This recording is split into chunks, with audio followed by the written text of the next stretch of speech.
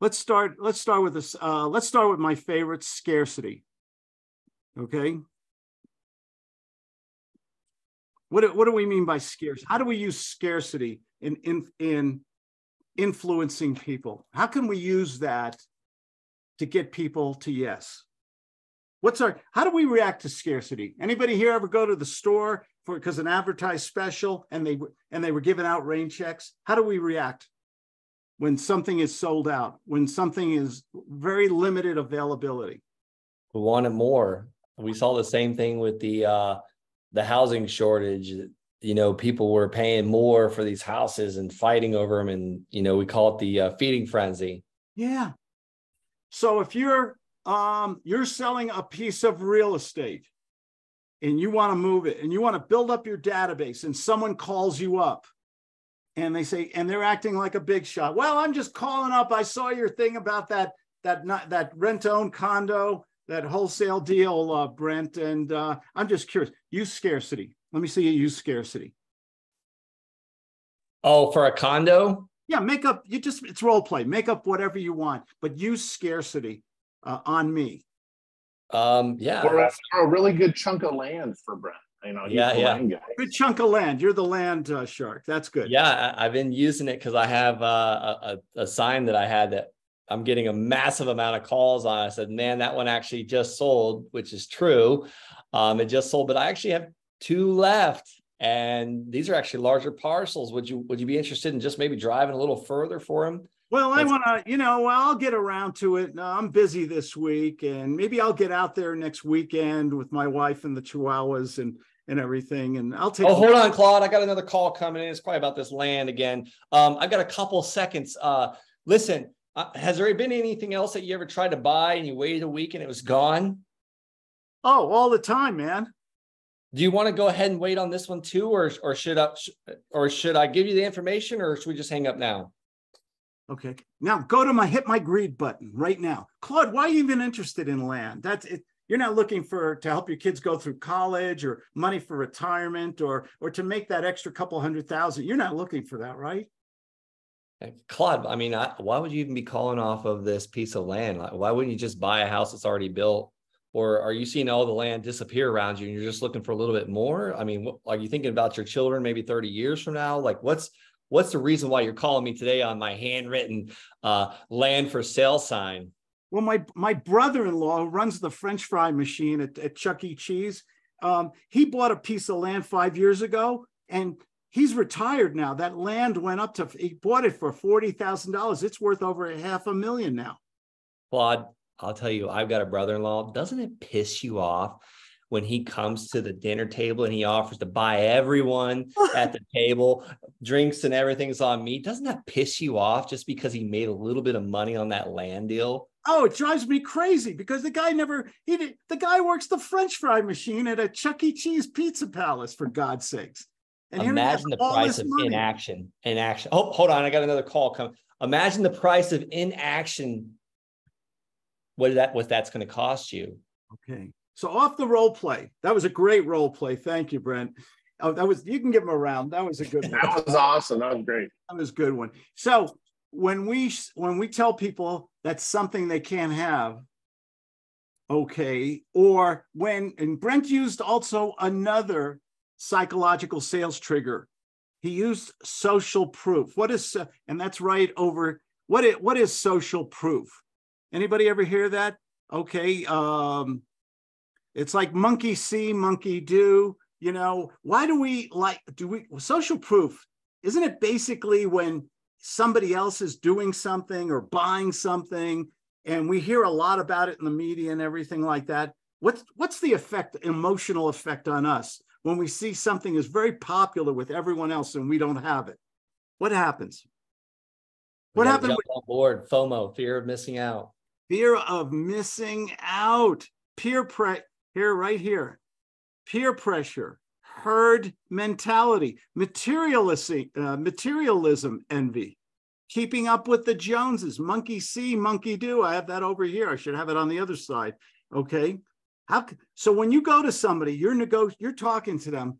I am so sorry. I am getting so many phone calls on this property. I have so many appointments today. I don't really think I can see. I don't think I can spend a lot of time with you to, uh, today, Wade. I'm really sorry. On a one through 10, how important is this for you, Wade? Maybe I can jumble my schedule around a little bit. Yeah, yeah, no, um, wow, yeah, I didn't realize you're so busy. I am. Um, I'm so sorry. Why do you think we're so busy with this with this um, uh, piece of land? yeah, I mean, I, I know it's a real hot area. We've we've been looking, trying to get something around there too. Yeah, it is. It is. It is smoking hot. It is amazing.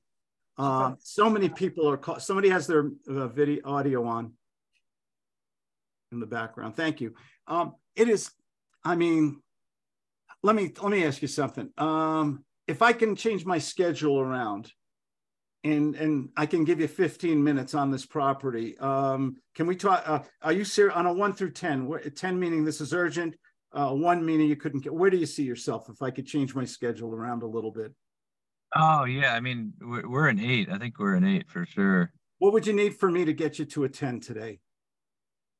Oh, I just want to get a little bit more info about the the lot, right, and what the restrictions are. That's all. Okay. And if I could give you that information that meets with your budget and your needs and your future investment philosophy, you wouldn't be able to make a commitment today, right?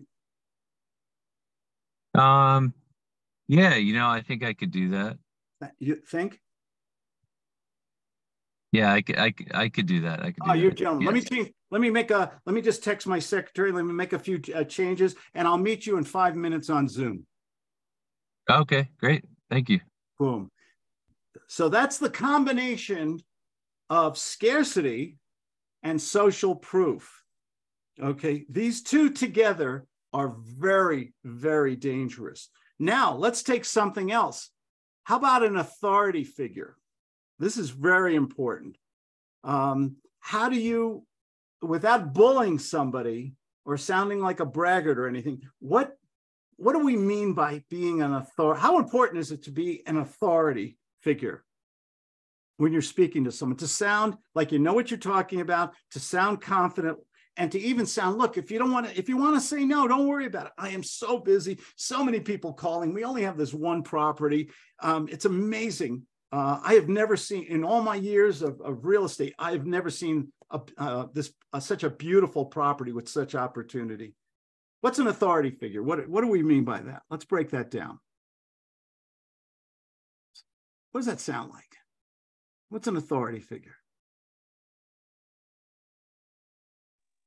When you do, Well, when you you're, do, you're you're talking from a place of uh, experience, right? And you're you're experience, sharing all your wisdom. Right, right. How many people here went to my university? Fake it until you make it you. Okay. Do people want somebody that sounds depressed or, oh, I know what you mean. I, oh, yeah, I lost my, I'm still living. My mom still buys my clothes, you know, and I'm 42 years old. I'm sorry, Wade. I, I was just kidding. Does anyone want to talk to a sad sack? Does anyone want to talk? Well, I don't, you know, I don't know if this operation is going to work, uh, Mrs. Smith. I, I've never done this. Be I've only done it once or twice. It's, uh, it's, uh, oof, I don't know. Do people want certainty, assurance? What's the biggest turn on to people? Confidence. They love it. confidence. Yeah. Yeah. Not to mislead or any, but do you influence people when you speak? You know what? I made the same mistakes you did years ago, but I found a solution for it. You wouldn't want to hear, you wouldn't want a few ideas or solutions I could give you for free right now. You couldn't meet me on Zoom for 15 minutes so we could talk about a few ideas to fix that problem. It'll, it's all free. You wouldn't want to, you wouldn't want to do that, would you, Brent? That's authority. You you've got to use it. What happens when the prospect does the prospect? We've talked about this before. Does the prospect have a default system? What does the prospect do when they get us on the phone? What do they want to do? They want information, right? What else? without giving you a commitment. Yes, they don't want to make a commitment. They want to what and what's the trick they use, Chris, to to not make what are those words they use all the Uh, time? I need to think about it or talk it over with my spouse. You know, They want the milk, but they don't want to buy the cow. yeah, yeah. You know, Cheap bastards. you know, I'm going to Claude. I'm going to give this my highest uh, concentration and review, and I'm sure we're going to do business in the near distant future. I mean, this just sounds great. And you, thank you for being on the phone with me for one hour. Okay, who's who's persuading, influencing, manipulating who? If we don't take control and use a system, who's in control? The prospect all day long. Brent, I, I kind of skipped over. You said you were on the phone with one person, and I, I appreciate you sharing that because we have all done that. You were on the prospect. You were on the phone with one person for sixty minutes. You said right? Yeah, he ended up buying. He did pay like he promised, but I was just like, I kept looking at my watch, like this son of a bitch better buy. But on the other hand, I was like, and he kept, and he had just had literally gotten rid of cancer with his throat. This guy loved to talk so much. He was like bleeding. He said, I'm, I'm bleeding now. I've got to hang up. I'm just like, what the heck? But he still bought, but he had to get all that out. And I was thinking to myself, I wonder what Claude would, would have done on this situation. You want me to um wait a second? Let me give let me give myself a shot of sodium pentothal and have a little drink here. You, you do- you do want the truth? Before I go,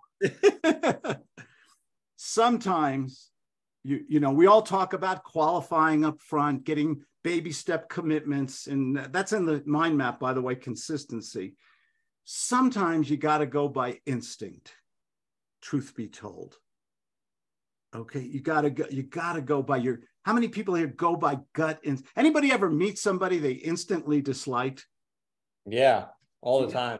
yeah, you're just like, you know, man, I would never let that person babysit my children, you know, or you just, did you ever, anybody ever meet somebody or a situation? Do you ever get a chill that, you know, about something or about a time or a date or a place or a person and you go by, it's, it's the sixth sense. Who did that movie? Um, the guy, the Die Hard guy. What was the, um, the movie, The Sixth Sense? Bruce Willis. Who? Bruce Willis. Bruce Willis. Bruce Yeah, Willis. Great Yeah, movie. Do you yeah, think great. we- do we have a sixth sense sometimes about stuff? Mm-hmm. I go running, I go running in the woods in the mountains here. Sometimes it's really deep woods and everything. And I every now and then I get a little chill in the back of my neck. And I know there's a I know, and this is I I know there's a bear or a mountain lion or there's something out there.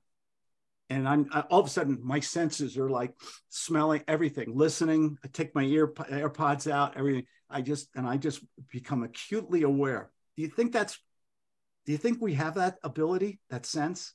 Yes. Absolutely. Yeah. Yeah. And in sales, sometimes um, we we need to do that. So uh, to answer your question, uh, you go with the you go with the flow. You can qualify.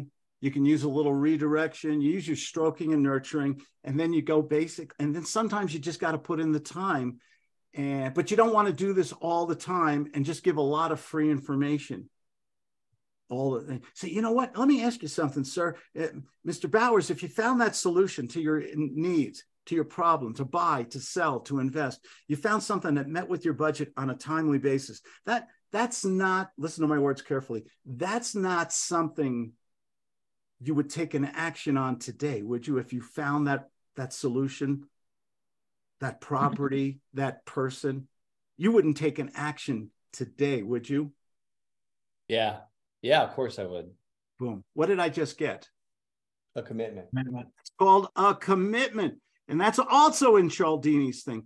How, and did you guys notice I used my little guts trick there, redirection. When we want to know, we go positive. When we want to, when we want to go positive, we go negative. We go in the opposite direction. How important is it to get consistency? Get them up the yes ladder. It's so big. Yeah. It's so big. So if you found, let me ask you something. You don't want to, you wouldn't want to, this isn't something you want to do today, is it, sir, ma'am? Jessica, if I could find a, if I could find a way to solve this uh, uh, problem for you, uh, you don't want to do this right now. You want to do this six months, a year from now, don't you?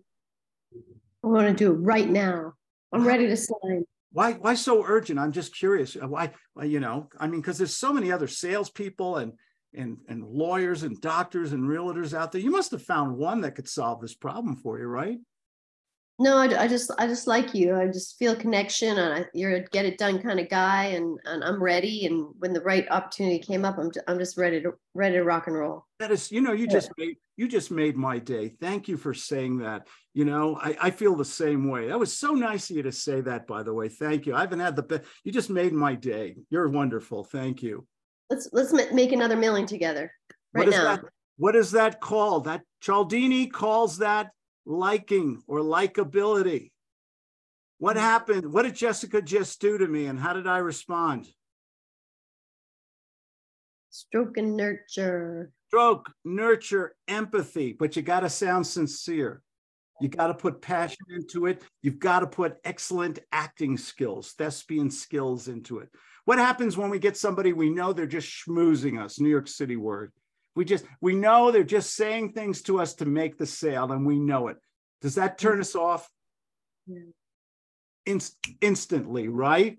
When we find, when someone is sincere, and and and and and we really believe what they're saying about us it's a compliment it's a stroke it's something that made us emotionally involved it's they under empathy they know how we feel and we believe them. Do you think we get closer to that person?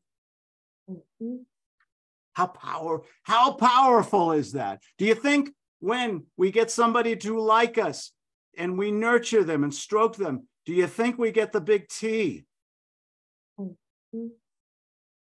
what happens what happens when we have trust in a business relationship? How huge is that? Please someone tell me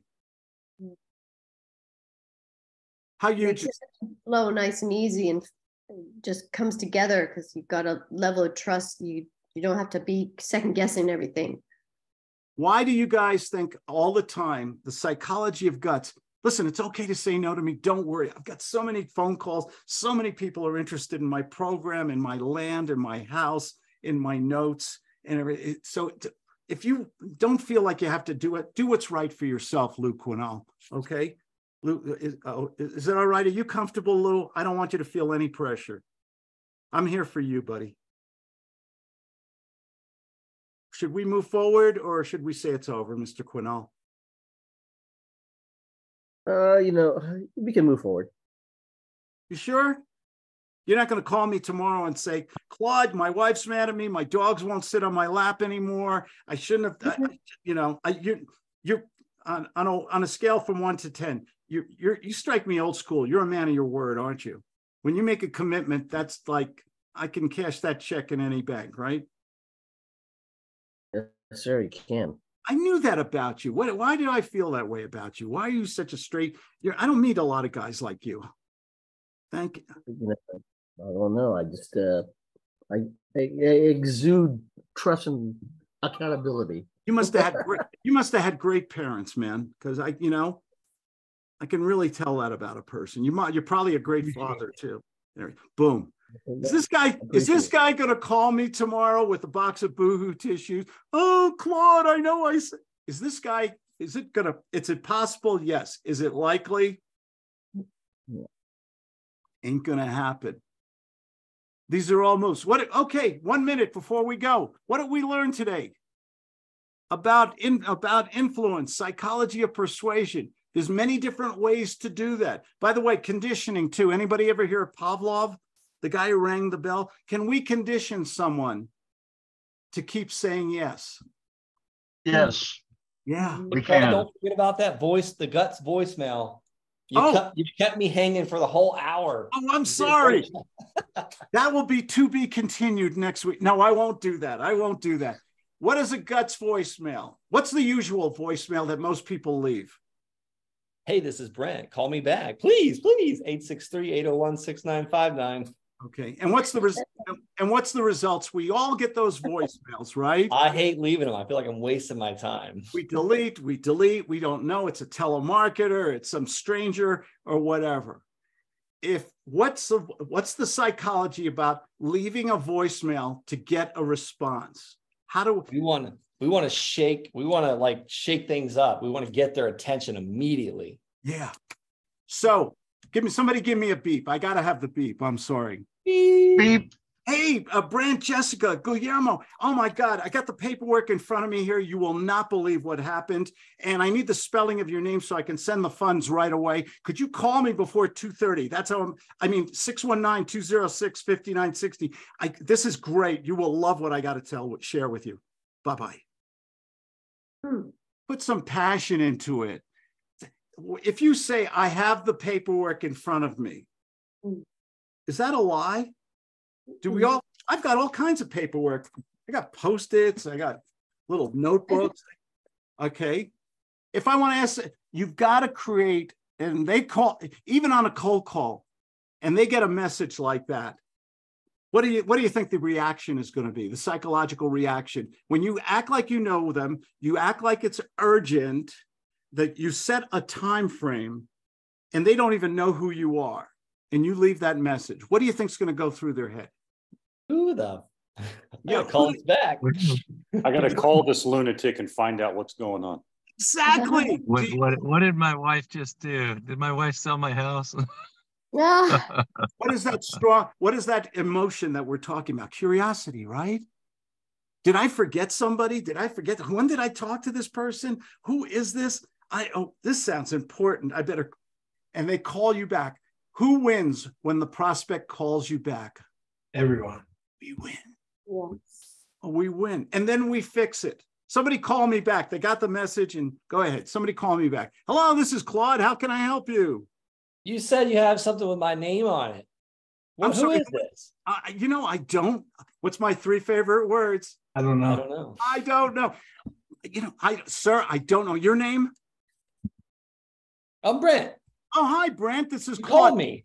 You don't remember? Brent, I'm so, so Brent. I don't remember what color underwear I'm wearing. Uh, Brent, I apologize. What was this about? This wasn't about real estate, was it? Land or something?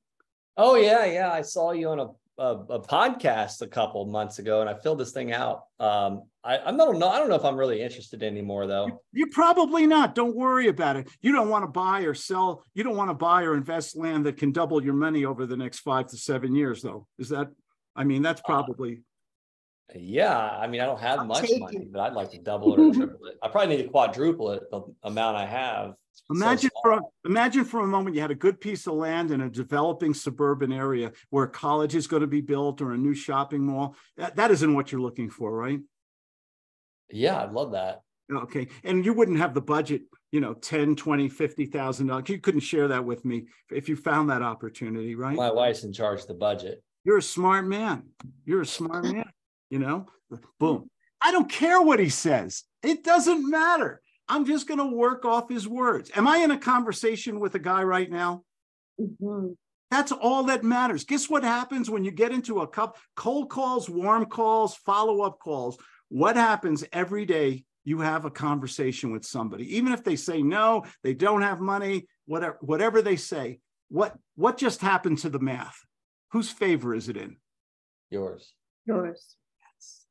So when you leave a voicemail, leave a voice. Can you help me? I don't know why. I, got your phone number here in front of me here. It's on my little thing, and I, I'm sure this is important. Could you call me before 3:30 so we could take care of this problem? Thank you very much. 6192. Whatever you say, don't leave. Don't leave a message that sounds like that old jar of yogurt with the green mold in the back of your refrigerator. Okay, make it. Put some passion. in Jessica, do you have a jar of yogurt like that in the back of your fridge? Absolutely not. Good for you. Good for you. So put some passion into it, create some curiosity. The, and you can always say, I don't know, I'm sorry, I forgot. Can you help me out? This isn't about life insurance, real estate, coaching, buying in land, investing in land, is it? Help them out a little bit. Mhm. And once you get into a conversation, all the opportunities are presented to you on that table. Did we did we have fun today? Mhm. Hey, give everybody give me a thumbs up, okay? You guys did great today. Thanks. Have a good week. Stay safe. Enjoy the summer. Stay cool. And um, who's got? Let's see. Who's is anyone doing the Wednesday call? Is that Brandon or just? I saw Justin on here before. Um, I'm It's the sure. fourth Wednesday, so there's there's no uh there's no role play this week. Okay, Justin, I'll give you the last word. One of the smartest men in real estate, right down there. I I don't that's I don't know. Hey, have a great week, everybody. Make money today. Yeah, absolutely.